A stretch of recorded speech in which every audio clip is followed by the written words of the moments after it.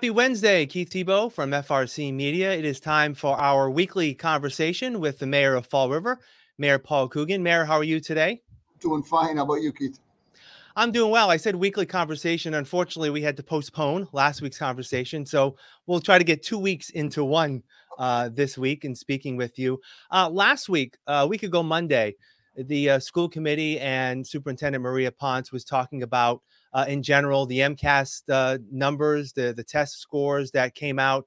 Uh, that um, you know the the district is still looking at. Um, the numbers obviously dropped. Uh, there were a lot of reasons to that, COVID, of course, and the lack of in-person learning. Um, what do you take away from what you've been able to see in terms of the MCAS numbers, and how can the city try to rebound from this? Well, the city can try to rebound by just uh, you know, getting kids back in the classrooms and uh, and strengthening the curriculum and working hard to get uh, competent, caring teachers in front of the kids, just like we have in almost 99% of the classrooms. This is uh, this was not unexpected. I, I had a conversation with the lieutenant governor long before these scores came out and long before they even gave the test. And I asked her about a pause for a year here to buy us some time to get these kids back in front of teachers. I I am and I try my best, but I'm from an old school type of learning. I don't mm-hmm. understand how a kid sitting in front of a monitor is going to get the same level of education that um that is being given out in the classroom. It just doesn't make sense to me. I I was extremely nervous about the scores, although in Fall River there were a few bright uh, bright spots in amongst all the scores that I'm very pleased with. But uh, overall, statewide. I was reading an article yesterday, I think it was in the Globe about MCAS tests, and the state took a tremendous dip. Uh, and I, I guess any state that went uh, that was under the uh, MCAS rules and regulations probably would have took the same dip. It's just no way to tell me that a, a monitor is going to replace a, a caring teacher uh, with good instructional skills and, and materials, which a lot of our teachers have now, or I should say mostly all. It's just not the same. It's not the same level of instruction. It's not the same learning standards. It's just different. And I, I really feel bad for these kids. I think it's going to take them years and years to make this up. Yeah. Um, another um, part of this that was brought up was the fact that the absentee rate uh, among students in the Fall River Public Schools was also at a high uh, last year. I believe nearly 50%, 48% were chronically uh, absent throughout the year. And I believe that's 10% of, of missing 10% of, of, of, all days. Again, I guess if students aren't in school, they can't learn. Uh, I know this has always been a balancing act here in Fall River in terms of, you know, let it be known to parents the importance of getting their their kids to school. Is there anything that that the school department can do differently that they haven't already done in terms of, you know, continue to drive that message home? Right. I I, I really believe this is a uh, a person by person battle. You just um, what again? It's the same kind of mindset that that overwhelmed COVID. Um, all of a sudden, I I'm near Keith. Keith's positive for COVID. Oh, stay home five days. Uh, those numbers bubbled up. You know, a number of factors: lack of interest um, on the part of uh, our parents and, struggling with a kid that's you know telling them there's COVID in the school or there's a battle going on when we needed them in, in the building. It's just uh, it's a tsunami of perfect proportion, whether it's scores, attendance. I mean, you know, getting these schools back to where they belong is going to be, as I said, it's going to take more than a year. People have to understand that, and anything a parent can do to help us with their with their child's attendance, we want them to pitch in. You know, we have them. I always used to tell parents when I worked in the schools, we have them six, seven hours a day. You have them 17, 18 hours a day. We have um, we we need you as partners in their learning, whether it's whether it's home assignments, whether it's getting to school, whether it's school involvement. Um, you know, I, I just know that th- that's the strength we have is when we have parents that are engaged and uh, concerned about their child's education. It makes a world of difference, not only in Fall River, but in Tulsa, Oklahoma, or uh, Bozeman, Montana. If people will pitch in and help with their kids' education, it's very important. And obviously, my focus is on Fall River, and those numbers are distressing. But we we own them. We got to move on. We got to do better. Yeah. Yeah, absolutely. I want to get into another aspect. I'd like to ask you some questions about city projects that are happening. Uh, we've talked about the city pier, um, and we'll talk about that a little more next week because I know there's going to be a dedication ceremony a week from Saturday to officially dedicate the pier. We'll talk about that next week.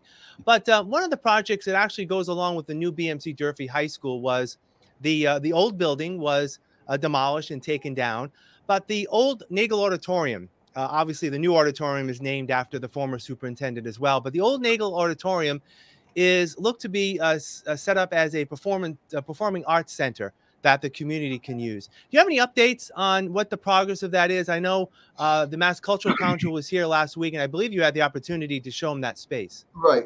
They, obviously, they were very impressed with the space. I mean, the old Nagel Auditorium, it, it could be a showplace for the city of Fall River. We need a roof. Uh, we need some upgrades across the board in there, whether it's whether it's bathrooms, lighting, the doors, you know, that, that are just sprung from years and years of uh, neglect.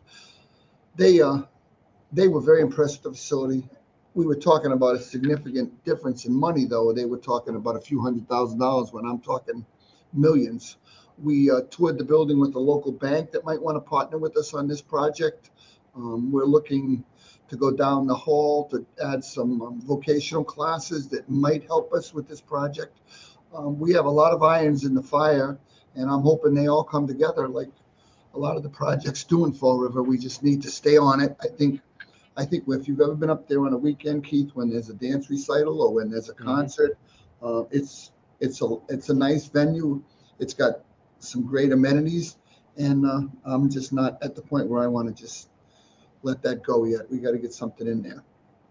Now, now, who is uh, who operates it? Is it the school department or is the the city side that city, actually runs? The, um, the, left side of the building is the parent center where the uh, new registrants come to enroll in our schools, and the right okay. side of it is the auditorium and the uh, music rooms. Um, we uh, we have control over that part of it. It's a city project, but obviously, if we did a roof or we did something that would upgrade the whole building, we can work with the schools on that. It is, it's no longer, um, the reason they told us that we are eligible for grants now is because it's not attached to a school per se. When we took the uh, walkway down and we disconnected it from the other buildings, it's a standalone building, so it's eligible for some uh, some grants now, which is what we're looking for. Any thoughts of potentially maybe even using some some ARPA money for this? Is that a possibility? Could be, uh, depending on how this plays out. I'm trying to keep. Uh, I try to keep ARPA money, you know, in the reserves and and look for other sources first. But um, that's not being closed out yet. Right. All right, I want to shift gear. We've talked a lot about the uh, building of the new uh, city website. Now we talked about the logo contest. I believe there were over 200 entries of potential logos to represent the city of Fall River, and I guess there may be some movement in terms of uh, some finalists and and getting the the uh, city residents involved. What can you give us an update on that? Yeah, they had um they had the uh, the, six finalists in that they're going to be presented to the citizens. They can vote. Um, I had no say on the sixth final. I deferred to the panel, which uh, uh, they did a great, great job filtering through because there was probably a hundred good ones, um, and they narrowed it down to six. Um, there's going to be an opportunity to vote. We'll have the websites up. We'll have the Facebook polling spots up, and people are going to be the ones that make the call on the webs on um, the new logo design. I think the ones I've seen are clean and neat, and they uh, they professionalize the look of the city, and that's all I was looking for. But I'm going to have the same amount of votes as uh, as someone that lives on Whipple Street or Barnaby. I'm I have one vote, and that's going to be my vote also. Yeah. All right. Sounds good. We'll hear more about that as we get uh, get uh, closer to that announcement. I believe in the next week or so.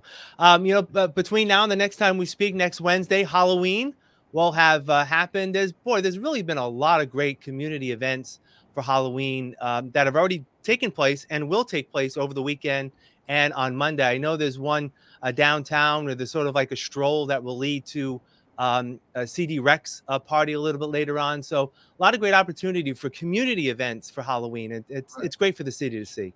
Well, I, I uh, when I was Friday night, I was up at Durfee for the trunk or treat um, event. I, I sponsored a uh, the Green Jaw food truck, which gave all the kids hot cider or a little treat of popcorn and a hot chocolate. And I was kind of a little bit taken back by the crowd up there. I did not know it was going to be that big. There was a lot of there was a lot of people there.